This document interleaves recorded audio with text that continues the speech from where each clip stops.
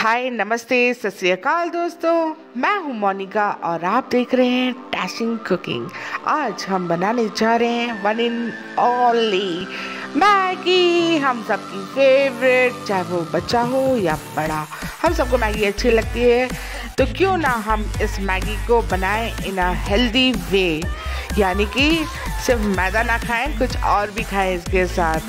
तो let's get started ले लिए हैं। इसके लिए मैंने दो अंडे, एक पैकेट मैगी का, जिसके अंदर निकलती हैं चार मैगी। एक बर्तन ले लिया है, उसके अंदर डाला है तीन चम्मच ऑयल आधा चम्मच जीरा, दो तीन चम्मच दो तीन मिर्च के टुकड़े, यानी कि हरी मिर्च के टुकड़े और एक मीडियम साइज़ की प्याज। अगर मिर्च के बच्चों को अच्छी नहीं लगती है तो आप इसको अवॉइड कर सकते हैं। मैंने इसलिए बड़ी बड़ी काटी है ताकि अगर बच्चों को अच्छी नहीं लगती तो वो निकाल सकते हैं आराम से। देखिए, प्याज हो गई है भूरी और अब इसके अंदर हम डाल रहे हैं पत्ता गोभी। आधा कप पत्ता गोभी ले लिया है मैंने, इसको भी लंबा लंबा काट लिया है। इसको हमें ज़्यादा पकाना नहीं है, हम सिर्फ़ इसको एक मिनट के लिए प्याज के साथ चलाएँगे।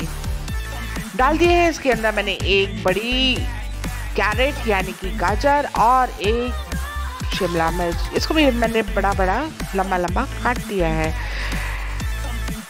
इसको भी हम 30 सेकेंड के लिए ही सिर्फ़ सौते करेंगे। आधा कप मैंने डाल दी है इसके अंदर मटर और दो टमाटर भी ऐड कर दिए है। इसको हम पकाएँगे एक मिनट के लिए।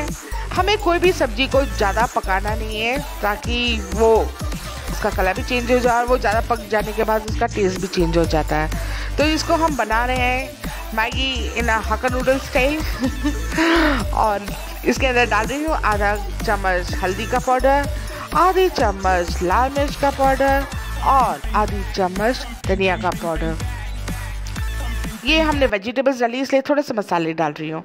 और इसमें मैंने थोड़ा सा नमक भी डाला है, क्योंकि वेजिटेबल्स डालने के बाद मैजिक मसाले के अंदर नमक कम हो जाएगा। कर ली है मैंने एक जगह अपने बर्तन के अंदर, बीच में, ताकि इसमें मैं ऐड कर सकूँ दो अंडे। और अंडे मैंने बीच में ही पका लिए हैं। आप चाहें तो दूसरे बर्तन में भी अंडे को पका के इसमें मिक्स कर सकते हैं। बट मुझे ये कन्वीनियंट लगता है, इसलिए मैंने इसी में डाल दिया है। और देखिए, आपने मैंने अंडे पकाए, मैंने उसके लिए कोई अलग से तेल नहीं डाला। वो तेल छूट के बीच में ही आ गया था और उसी में मेरे अंडे पक गए। डाल दिए हैं इसके अंदर मैगी, मसाला और इसको हम मिला लेते हैं। डाल रही हूँ। इसके अंदर पानी पानी चार मैगी के बराबर के लिए। अब हम ऐड कर रहे हैं इसके अंदर हमारी फेवरेट मैगी। मैगी को हम पकाएँगे जब तक इसमें बॉईल ना आ जाए और ये पक ना जाए।